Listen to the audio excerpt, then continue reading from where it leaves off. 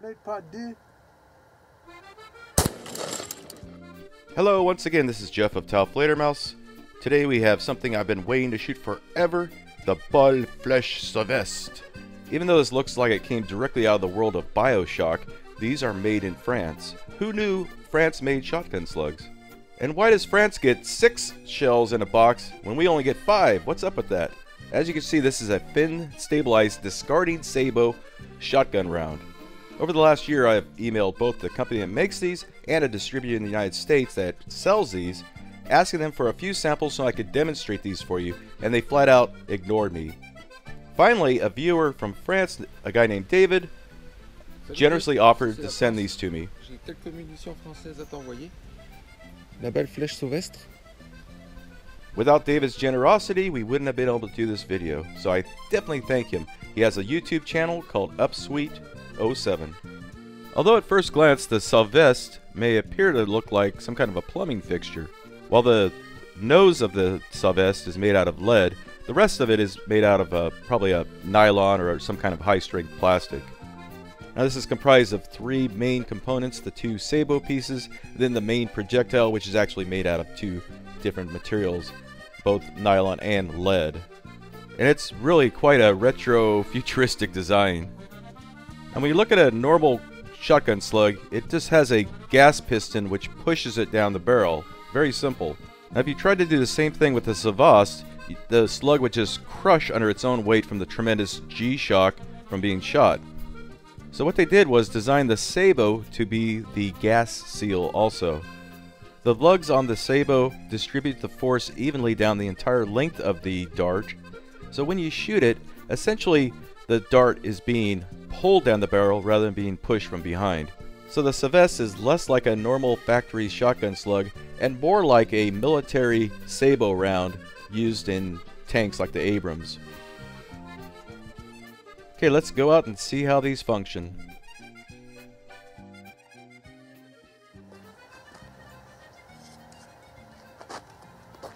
Okay, I'm ready. All right, let's look the français. Wow, I saw it splash out in the water out there. Okay, we see the Sauvestre traveling along around 1400 feet per second.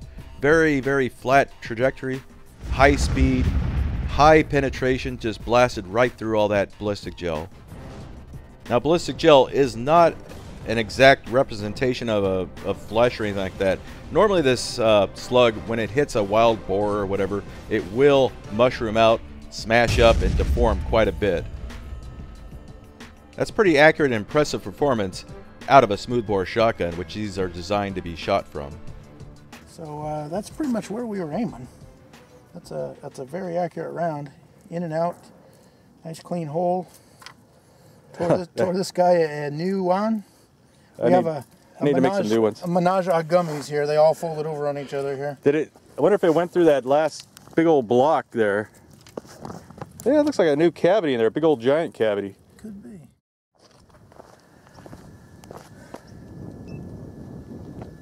Okay, ready. ready.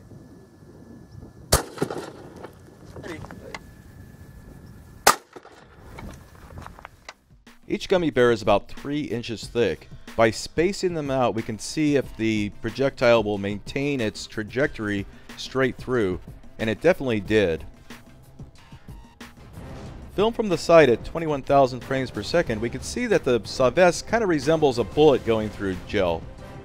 But unlike a bullet, which can often yaw and change direction once it begins traveling through flesh, the Sauvestre continue traveling straight through.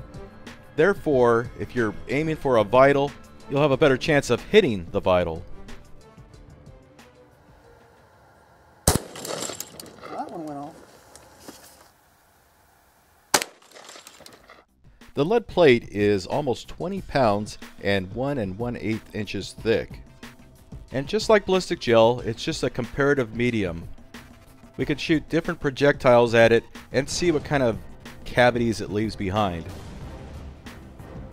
Now here again we see the Sauvestre traveling along. Has a little bit of a waggle to it, which is pretty common with fin stabilized projectiles. Now, the, the manufacturer does say these can be shot through a rifled barrel. The Abrams tank has a smooth bore for a reason. They're able to get accuracy out of it without spin stabilization. So it's pretty unlikely you'd get better accuracy from a rifled barrel with these. Okay, five gallon jug of water. I'm ready. Whoa! That was a trip. What the heck? I hope that got on camera. I think it did. Clink. Whoa! Now, David couldn't send live ammunition to me through the mail, so I had to load these myself using non existent load data. So, because I didn't use the right powder or the right amount of powder, or I had a maybe a little air void in the base of the shell, we didn't get a proper combustion of the powder. So the Sauvestre left the barrel at probably about 500 feet per second, if that. But we can really see how the sabots separate from the rear, not from the front, which is kind of interesting. So traveling at a subsonic speed, it was still very stable and still had enough energy to pierce that water jug and the lead nose snapped off and continued on through that 12 inches of water.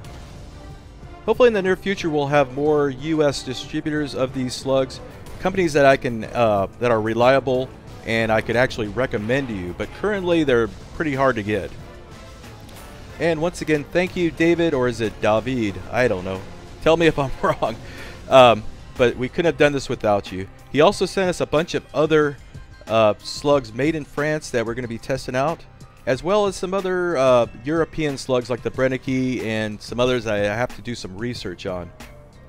And we also have another batch of unique shotgun slugs from Russia sent to us by Alexei. If you haven't subscribed already, please consider it. Give us a test drive and see if you like us or not. Anyway, I hope you enjoyed this video. Thanks for watching. Whoa! Now that was a trip. What the heck? Doggone it.